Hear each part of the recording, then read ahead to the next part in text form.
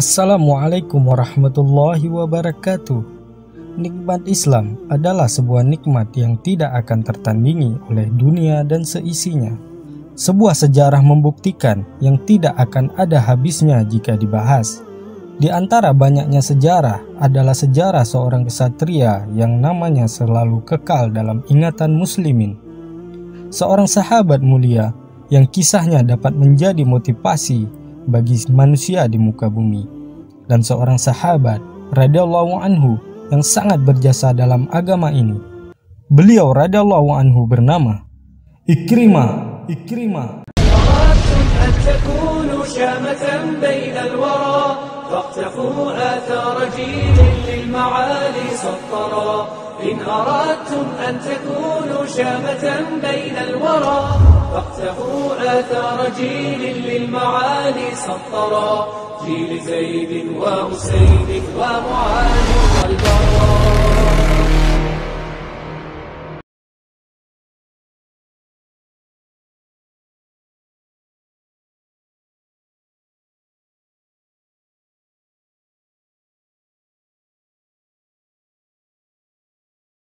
أنجوم لاحت في العليا لتناجي العزة والسؤدد وبريق يصدع أخاذا ونفوس الناس بها تسعد. Ikrimah radhiallahu anhu adalah anak dari pimpinan Quraisy yang sangat memusuhi Nabi Shallallahu alaihi wasallam yang bernama Amru bin Hisham atau lebih dikenal dengan sebutan Abu Jahal atau bapak kebodohan. Karena semasa hidupnya ia telah banyak melihat mukjizat dan kebenaran agama yang dibawakan oleh Rasulullah Shallallahu Alaihi Wasallam. Namun, karena hal duniawi, ia pun enggan menerima agama Islam, bahkan menjadi manusia yang sangat keras dalam menentang Nabi Shallallahu Alaihi Wasallam. Oleh karena itulah, ia digelari oleh Nabi Shallallahu Alaihi Wasallam dengan gelar Abu Jahal atau Bapak Kebodohan. Allah Subhanahu wa Ta'ala berfirman, dan begitulah telah kami adakan bagi tiap-tiap nabi musuh dari orang-orang yang berdosa. Al-Quran Surat Al-Furqan ayat 31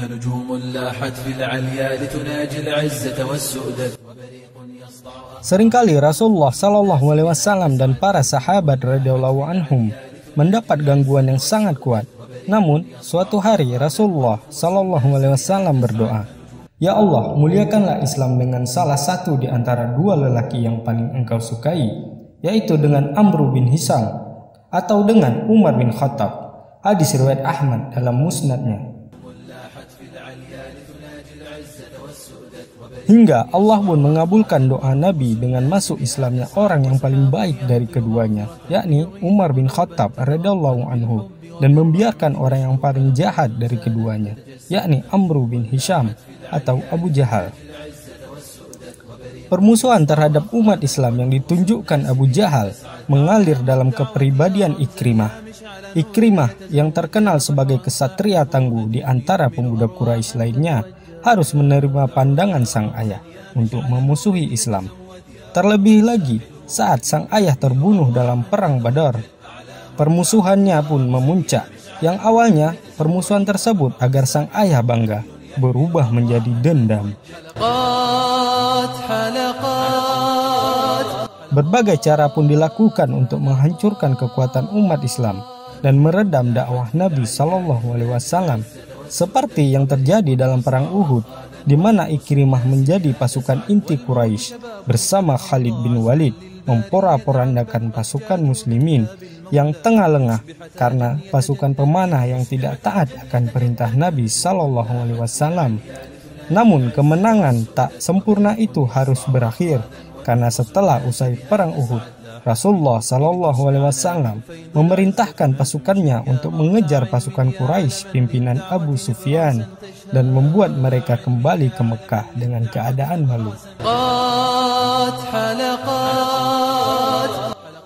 Tidak hanya itu, hal serupa pun terjadi dalam perang Kanda, di mana Ikrimah dan Amr bin Wud memacu kudanya dengan sangat cepat untuk menantang duel kaum muslimin. Maka majulah sahabat mulia Ali radhiyallahu anhu dan dapat mengalahkan Amr bin Wud dengan kehendak Allah. Gema takbir pun menggelegar Melihat hal itu, Ikrimah mendapat pukulan mental dan membuatnya harus melarikan diri. Akan tetapi, rasa dendam dan amarahnya masih sangat berapi-api. Hal ini dibuktikan saat Rasulullah Shallallahu Alaihi Wasallam berhasil menaklukkan kota Mekah. Ikrimah bersama sahabat lainnya seperti Safwan bin Umayyah, Suhail bin Amr, dan seorang lelaki dari Bani Bakar yang bernama Hammash bin Qais namun, perlawanan kecil ini dapat dihalau oleh Rasulullah Sallallahu Alaihi Wasallam lewat seorang yang dijuluki pedang Allah yang terhunus dan panglima perang tak terkalahkan. Ya, dialah Khalid bin Walid radhiyallahu anhu. Yang membuat Ikrimah dan sahabat-sahabatnya melarikan diri sehingga mendengar kabar bahwa Rasulullah Shallallahu Alaihi Wasallam mengumumkan sembilan orang yang diizinkan untuk dibunuh. Salah satunya adalah dirinya maka Ikrimah pun melarikan diri ke Yaman. Namun, kehendak Allah lewat sang istri Ummu Hakim radhiyallahu anha yang meminta jaminan keamanan kepada Rasulullah sallallahu alaihi wasallam agar suaminya tidak lagi menjadi target hunusan pedang kaum muslimin. Menjadi asbab hidayah masuk Islamnya Ikrimah radhiyallahu anhu dengan penuh perjuangan, Ummu Hakim pun menempuh jarak yang jauh demi memulangkan sang suami yang kelak menjadi kesatria tangguh umat ini.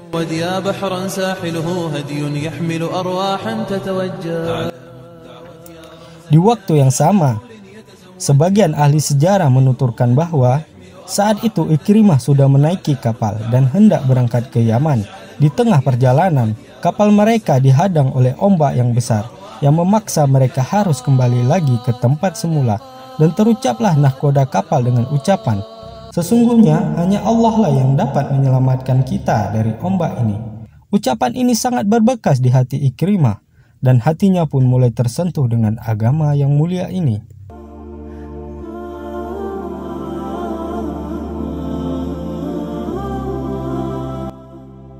Singkat cerita, berjumpalah Ummu Hakim dengan sang suami dengan usaha dan cobaan yang dialaminya. Di tengah perjalanan, Ikrimah, suami Ummu Hakim hendak menyentuh sang istri. Namun Ummu Hakim menolak ajakan Ikrimah dan berkata dengan perkataan yang sangat menusuk hati. Wahai Ikrimah, sesungguhnya kamu musyrik, sedangkan aku muslimah. Allah telah mengharamkan diriku atasmu. Inilah perkataan Ummu Hakim yang seharusnya menjadi pedoman bagi setiap wanita muslim di dunia agar mereka faham mereka lebih berhati-hati dalam memilih pasangan, bukan karena cinta ataupun harta, tetapi karena agama.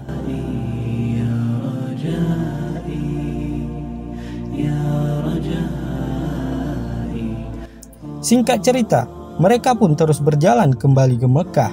Sementara itu, Rasulullah Shallallahu Alaihi Wasallam berdiri di hadapan para sahabat radhiyallahu anhum dan bersabda, Sesungguhnya Ikrimah bin Abi Jahal akan datang kepadamu dalam keadaan beriman dan berhijrah. Maka janganlah kamu mencela ayahnya, karena mencela orang yang sudah mati dapat menyakitkan orang yang masih hidup, walaupun celaan itu tidak sampai kepada orang yang sudah mati. Hadis riwayat Bukhari.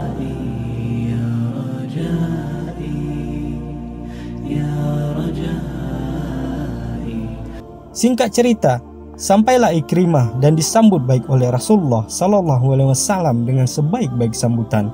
Beliau bersabda, Selamat datang pengendara yang berhijrah. Ikrimah menjawab, Aku mendengar bahwa engkau telah menjamin keamananku, wahai Muhammad. Ya, sungguh kamu aman, jawab Rasulullah Sallallahu Alaihi Wasallam. Untuk apa kamu mengajakku? Tanya Ikrimah. Untuk menyembah Allah yang Maha Esa. Tiada sekutu baginya, melaksanakan salat, membayar zakat, menunaikan puasa, dan berhaji di Baitullah, kata Rasulullah Sallallahu Alaihi Wasallam.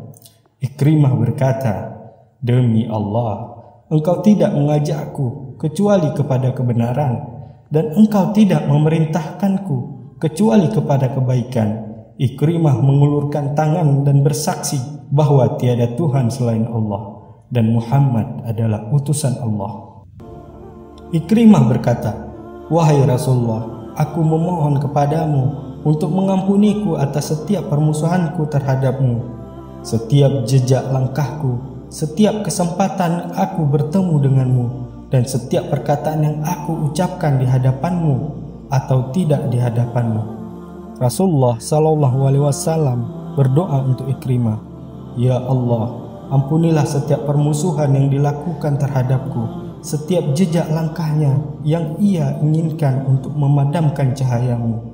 Ampunilah perkataan yang diucapkan guna merendahkan martabatku, baik ketika dia berada di hadapanku maupun tidak di hadapanku. Ikrimah berkata, Wahai Rasulullah, tidaklah aku mengeluarkan satu harta pun yang telah aku gunakan untuk memusuhimu kecuali aku juga akan menginfakkan harta yang sama di jalan Allah.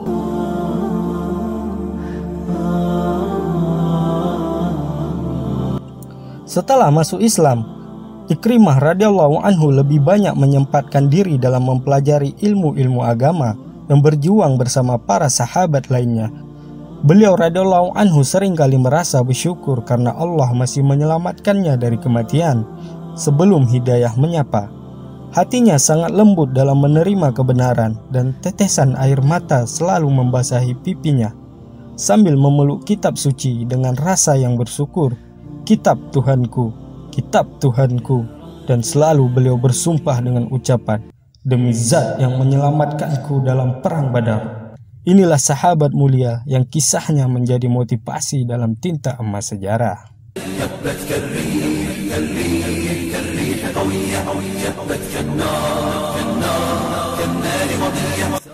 Keberanian dan kepiawaiannya dalam berperang menjadikan ia salah satu prajurit yang sangat ditakuti lawannya. Ketegasan yang dimilikinya selalu menjadi acuan bagi para prajurit muslimin dalam membela agama ini. Seperti saat muslimin mampu mendobrak dan menggulung kekuatan pasukan Romawi dalam perang Yarmouk. Peristiwa yang mengujudkan sebuah peradaban besar ini tak luput dari kiprah sahabat mulia Ikrimah radhiyallahu anhu saat itu, kaum muslimin pimpinan Khalid bin Walid radhiyallahu anhu hampir saja menuai kekalahan karena gelombang pasukan Romawi yang begitu besar. Namun di tengah keadaan yang sulit, bangkitlah Ikrimah bagai singa yang buas dan berkata, Minggirlah wahai Khalid bin Walid, biarkan aku menebus apa yang telah aku dan ayahku lakukan. Dulu aku memusuhi Rasulullah Sallallahu Alaihi Wasallam. Apakah sekarang aku akan lari dari pasukan Romawi? Demi Allah tidak, selamanya tidak akan terjadi. يا جيل المستقبل نسعى ونجد ونعمل نرقى دوما للأفضل دون العليا لا نقبل Ikrimah berteriak, siapakah yang akan membayatku untuk syahid? Bangkitlah pamannya Haris bin Hisham dan juga Dirar bin Al-Ajwar serta diikuti 400 pasukan muslimin lainnya maju menyerang tanpa ada beban ketakutan di dada mereka.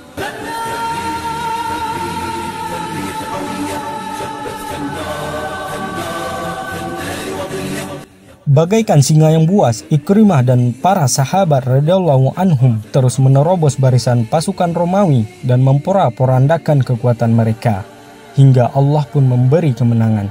Singkat cerita, saat peperangan itu pun berakhir, sang singa buas Ikrimah didapati tergeletak dengan 70 tikaman di tubuhnya. Di samping beliau terdapat sahabat mulia Al-Harith bin Hisham dan Ayyash bin Rabi'ah yang juga tergeletak. Al-Haris memanggil-manggil untuk meminta air karena sangat kehausan. Saat air itu hendak diberikan, Al-Haris melihat Ikrimah juga sangat kehausan dan beliau pun berkata, Berikanlah air itu kepada Ikrimah. Saat hendak diberikan, Ikrimah juga melihat Ayas sangat kehausan. Beliau pun berkata, Berikanlah air itu kepada Ayas.